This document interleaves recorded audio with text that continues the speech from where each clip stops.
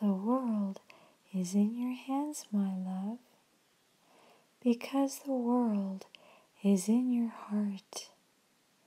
The world is in your hands, and all you have to do is shape it